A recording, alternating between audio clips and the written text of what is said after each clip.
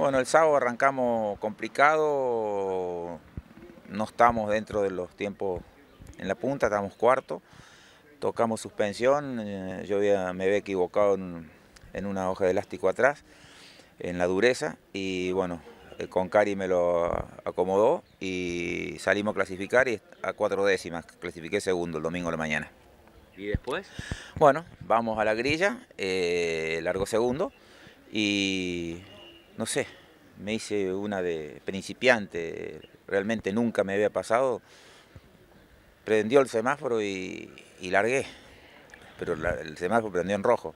Ah, Tiene que pasar rojo a verde, ahí nomás. Este, y bueno, ya sabía que estaba recargado y, bueno, salí a clasificar eh, todas las vueltas con todo lo que había y en la quinta vuelta me empecé a quedar sin freno y ahí me descontaron un poco, pero llegué a estar séptimo y bueno, fui bajando, bajando con los 10 segundos de recargo, quedé cuarto.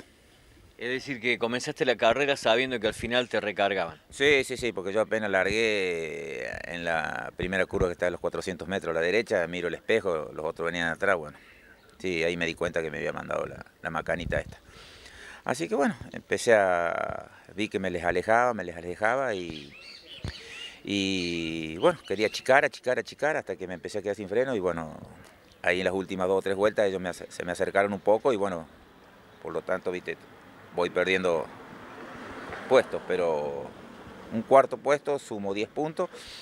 El que venía empatado conmigo el campeonato llegó atrás mío, así que mm, llegó quinto, así que saqué dos puntos de diferencia nomás. Es decir, lo importante es que todavía seguís en, en, la punta del campeonato y lo que se puede notar es que tenés un buen auto salvo este error que tuviese, si hubiese ganado, tenés, digamos, sacado una diferencia importante al segundo. Sí, por supuesto que sí. Este, son 10 puntos que los voy a sentir quizás. Este, pero bueno, confiado sí, porque tengo muy buen auto. Y bueno, lo único que quiero es pedirle perdón a todos los muchachos porque me mandé una macana a ir a tan lejos, pudiendo haber traído un triunfo, eh, haberme hecho esta macanita que es tan grande. Pero mil disculpas a todos los muchachos que me siguen.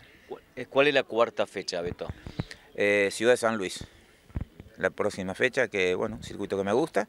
Y, bueno, si no, se, si no ocurre ningún inconveniente en el auto, eh, estamos para pelear la punta. ¿Crees que tenés que retocar algo en el auto? No, no, no. El auto no lo vamos, eh, vamos a, hacer frenos nuevamente al auto porque hay algún problema ahí. Y lo demás está todo bien. Eh, ¿Este circuito de San Luis le sienta al auto? Sí, sí, sí.